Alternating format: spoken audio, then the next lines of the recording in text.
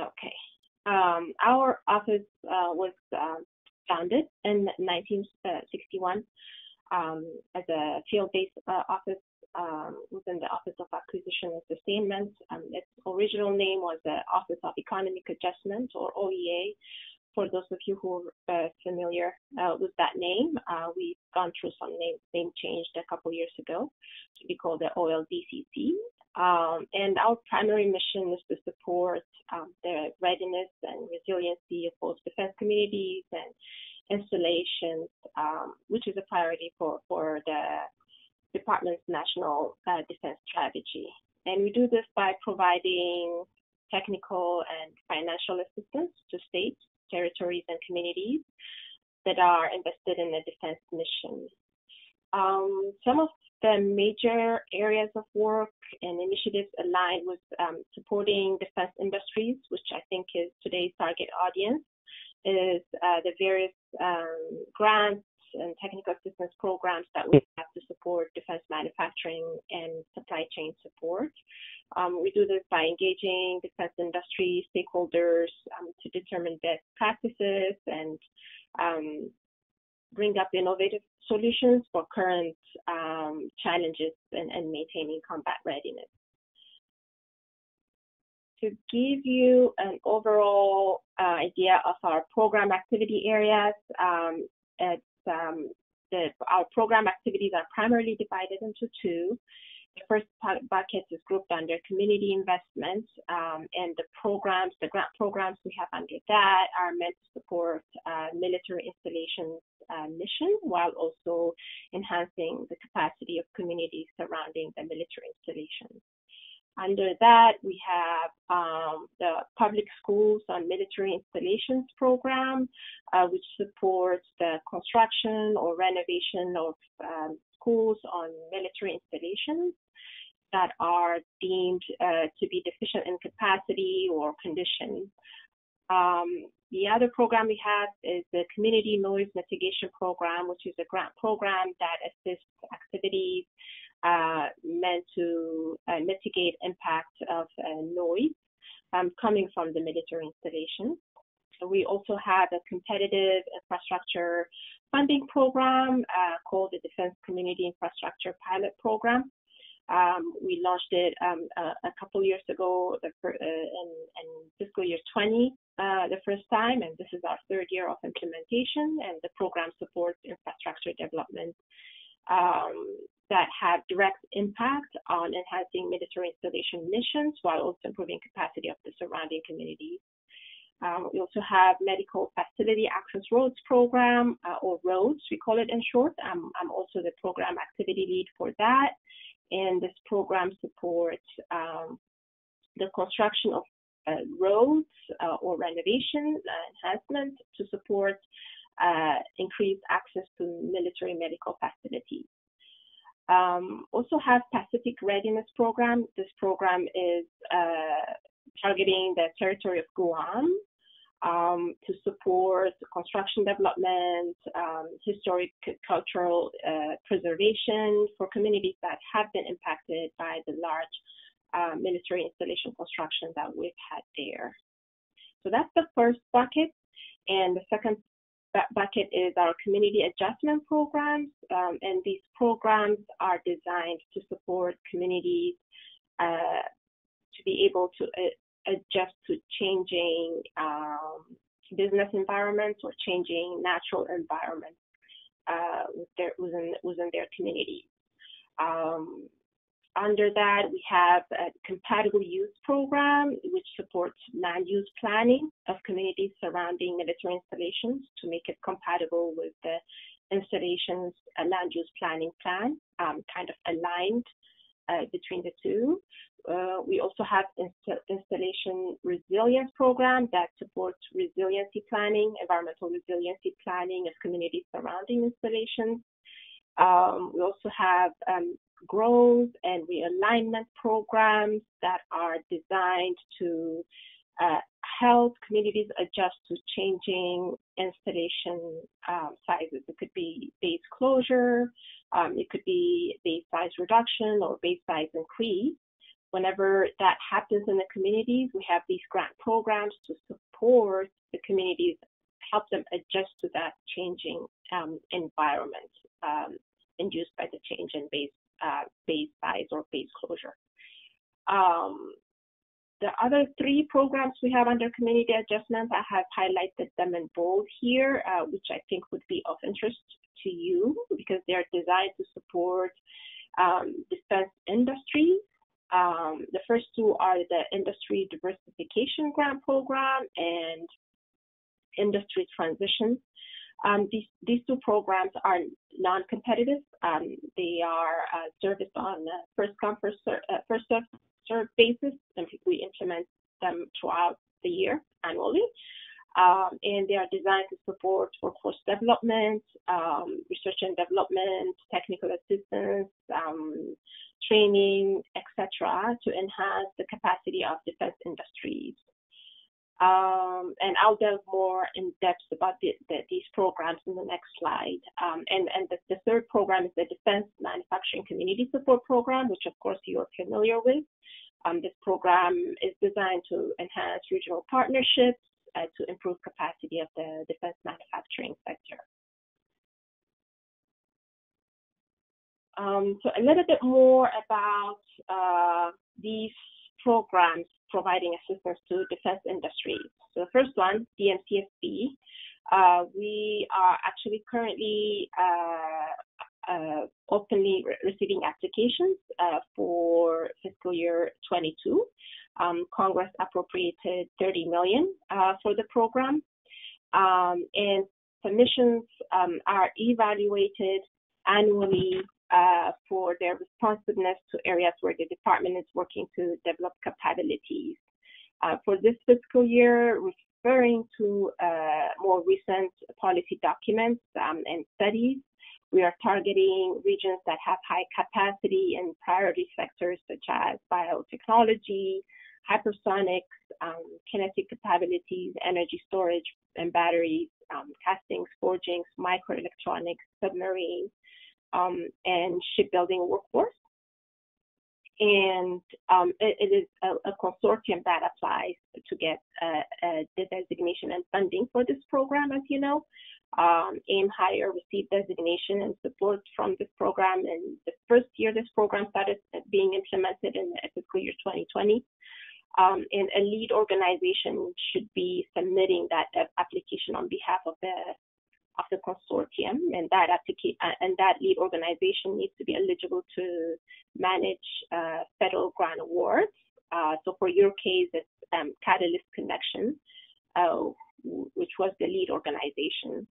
Um, and some of the eligible activities we have here uh, for the program include um, equipment and facility upgrades, workforce development, research and development, supply chain development, small business assistance, um, and we have a two-step process for delivering the program. The first one is to get designation as a defense manufacturing community. Um, so for, for this fiscal year, the application deadline, as I mentioned, we have an open application. The deadline is July 19. Um, and once um, communities have received that designation as a defense manufacturing community, which is a five-year designation, then they get invited to apply uh, for funding their proposed projects. Um, then that's step two. Um, the maximum grant award is five million with a 20% non-federal match, um, and we expect to make the grant award before the end of the fiscal year, which is September 30th, 2022. The other programs that we have are, uh, as I mentioned to you, the Industry Transition and Diversification Grant Program. These programs are non-competitive. Uh, they are not typically targeting regional partnerships, although the type of activities that they are implementing is pretty much similar to DMCSP. Uh, it may be relatively smaller in scale per unit uh, because it's less of a regional initiative. Uh, but uh, the programs are designed to support, you know, workforce development, research, um, innovation, uh, training, technical assistance, um, etc. And they are designed to respond to the local, you know, downturns um, or to changing defense business environment. Um, eligible recipients include here uh, states, counties, municipalities, um, tribal nations, and other political subdivisions of state, uh, special purpose units, etc. Just being eligible to manage, they need to be eligible to manage federal grant awards. Um, so that's pretty much an overview of the of our organization and the support programs that we have. Um, yeah, here is uh, this is my contact email um, if you want to reach out to me. Um, and next, I would like to take a few minutes to talk about overall uh, what the um, DoD priorities are um, and uh, what we consider as strategic enablers, the priority sectors that we are targeting, and some of the best practices uh, for partnering with, uh, with DoD. Um, so the, the, to to secure defense supply chain, uh, some of the strategic, enablers uh, for DoD as first off is workforce development. Um, there are skill gaps, um, as you know, especially in the manufacturing sector and the engineering sector. So we're looking to enhance capacity in that, um, and the defense industry grant uh, supporting grant programs that we have at OLDCC are designed to support those kind of workforce development activities. Um, cyber posture is another area. Uh, we want to increase capacity of the defense industries, especially those who are doing business with DoD. Uh, workforce training, cybersecurity is another area. Um, enhancing capacity of the manufacturing sector, especially manufacturing industry 4.0. Um, additive manufacturing is, a, is another strategic enabler. Uh, also giving support to small businesses, uh, which are key members of DoD um, supply chain. Um, in terms of the priority sectors we're targeting, and this is a constant, constantly changing area because uh, the gap in the supply chain changes, um, uh, you know, at a minimum every two, three years. The current, um, you know, priority sectors include um, improving kinetic capabilities, um, uh, you know, the missile systems, um, energy storage, uh, renewable energy um, is another key area. Um, shipbuilding sector uh, is another key area. Microelectronics, um, castings and forging um, is another key sector that we're looking to improve capacity in currently and and fill the supply gap. What what I would say and, and would encourage um, uh, you know uh, defense industries is to keep track of what the what the current priorities uh, and demands for DoD are through the you know recent uh, policy documents that are uh, you know regularly being published. Um, one example is, for example, the Defense Industrial Base report that highlights what the supply chain gaps are, workforce gaps, uh, and you know strategic recommendations that will help you align, uh, you know, the work that you're doing uh, with what the department is doing. Uh, because, you know, after all, the department is one of the largest procurement agencies, and all the, you know, grants and support programs that we have are designed to create a pipeline of uh, capable suppliers for the department. Um, uh, on the issue of how to partner with Department of Defense, um, I think um, your partnership with the Manufacturing Innovation Institute is one key area that, that I would encourage you to keep doing. Um, AIM Higher has a very strong partnership with, you know, the ARM Institute, America Makes, etc. And that partnership helps you uh, have access to some of the technical assistance resources that the institute have and in the workforce development, in building capacity of the manufacturers. Um, you can also directly partner with um, the Department of Defense Manufacturing and Technology Department, which finances uh, Manufacturing Innovation Institutes. Um, the institutes are also could also be financed through other federal departments. Um, I think currently there are about 14 uh, institutes, nine of which are directly supported by the Department of Defense, and they may be tapping on from other federal agencies as well. But the Department of Defense institutes uh, are key to partnering with because they are working on areas that are of priority to the department. Um, and they have specialized in specific sectors. It, it, could be, you know, additive manufacturing or space technology or biotechnology. So whenever your your area aligns to what they're working on is what where you can tap that uh, partnership and assistance from. The service areas also have uh, the military services, the Navy, etc., have their own uh, Mantech units. So you have the Navy Mantech and Army Mantech, etc., and through which they also um, uh, procure some of the products that the department is looking for. So keeping track of what the, the demand is from that area is also another key area. Um, to improve uh, you know, capacity of small businesses, the DoD is, uh, is also uh, targeting small businesses and attracting them through the SBIR, STTR, STTR program. Um, there are different submission requests through that uh, channel, so I would encourage you to look into that. Um, there, the, the, the department's procurement process and standard is uh, at times very cumbersome and complicated. And in order to address that, uh, there are um, procurement technical assistance centers, or PTAC, um, that every state has. Uh, Pennsylvania has one. Um, so I, I, would encourage you to, to, to get in touch with them as well because they have been they have received support from the department to provide assistance, technical assistance, and how to do business with DoD, um, and also I help you identify potential and contracting opportunities with DoD. Um, another program I would highlight is the Mentor Protege Program, or MPP, uh, which supports uh, small businesses especially from underserved communities, um, new businesses looking to enter the defense sector. Um, the, the, program supports mentor relationships with other uh, defense businesses to enhance their capacity in, in doing business with DoD. Um, another area is that the National Security Innovation Network, or NSIN. Um, it's a network that hosts hackathons, competitions for you know um, innovative products um, through which they att- attract entrepreneurs, academia, um, you know, new businesses.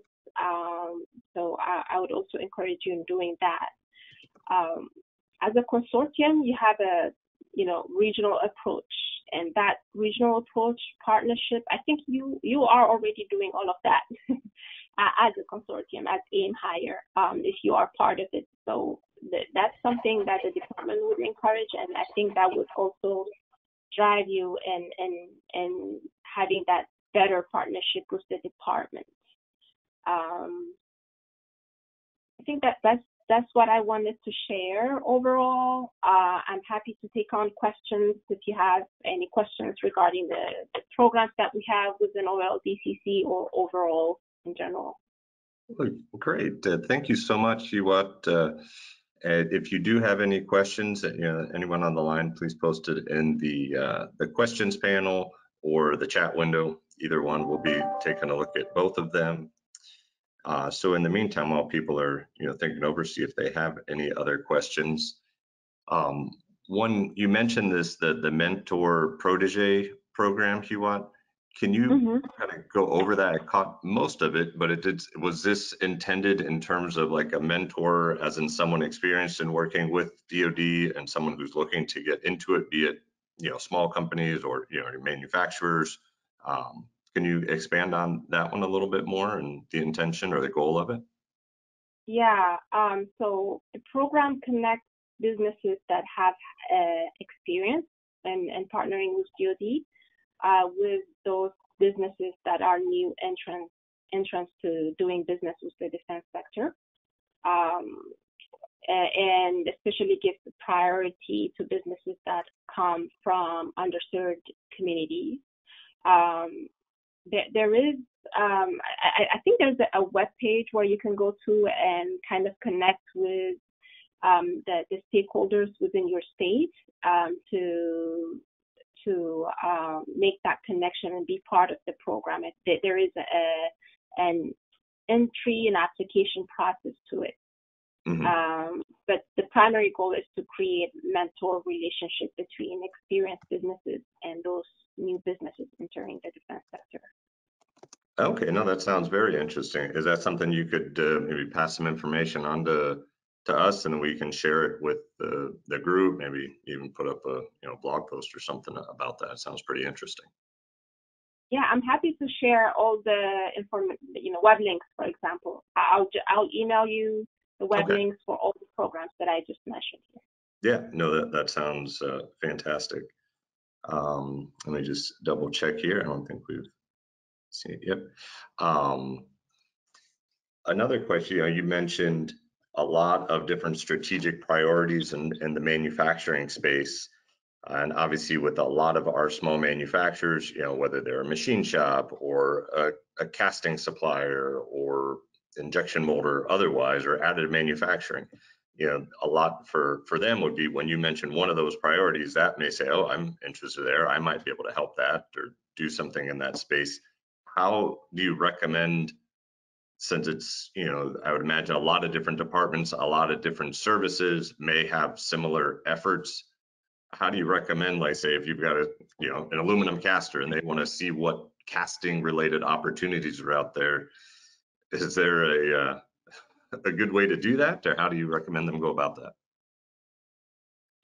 Um, so it depends on, on what their interests are. For example, uh, including the, the, the, grant programs that I, I mentioned that we have in our office. These programs are targeting to support manufacturers working in these priority areas to improve their capacity. If so, if the interest is to improve capacity in these sectors, and you have um, certain level of asset or activity that you're doing in this area, but you're looking to go one step further, including you know learning on to looking to understand what the procurement process and standards are for supplying these types of products that are deemed to be of priority. So if you're looking for the grant programs, some of the grant programs I pro provided examples on are one. If you're looking to do business with the department in these sectors, working with the procurement technical assistance centers, um, as well as the manufacturing innovation institutes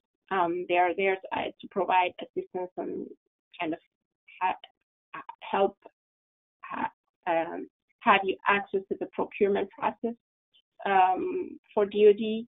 Um, DoD Mantech um, is the is the supporter of the institute, um, and each service area has um, procurement process through the DoD, Man DoD Mantech. So Navy has uh, a Mantech uh, office.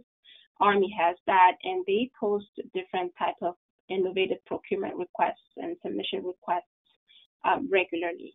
So keeping track of that is another uh, is, is another opportunity you can look into. Did I answer your question? Yeah, yeah, no, I, for sure, for sure. And I think the last one uh, just more of a hopefully a, you know, a plug for some future um, some future webinars because you mentioned a lot of different groups that have you know tie-ins from DoD and that you would recommend engaging with. So I think we certainly look forward to and and hope that you know we can pull some additional sessions together. You know when we start up again later in the year uh, with some of these other resources that you think our, our manufacturers uh, would be interested to connect with and learn about yeah, absolutely. Happy to work with you on that.